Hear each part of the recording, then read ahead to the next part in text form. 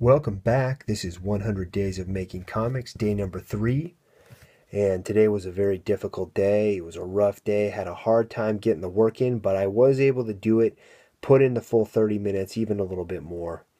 Here's what I did I went over some of my drawings here with a dark pencil, and just kind of tried to improve my shapes, tried to improve the drawing a bit. I also was able to lay in another row of heads here so now there's a total of 15 heads on this sheet. And tomorrow I'm going to tie these heads down a little bit better.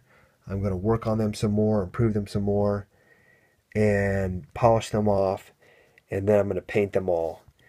This is an exercise I'm doing in order to improve my skills, in order to improve my abilities, so that I can paint and execute the cover for my comic book World's Deadliest that I've tried to do already and failed at. I just need to make myself a little bit better, a little more technically sound. So I'm putting in the work in order to do that, and I'm going to give it another shot. That's all for today. I'll be back with another update tomorrow.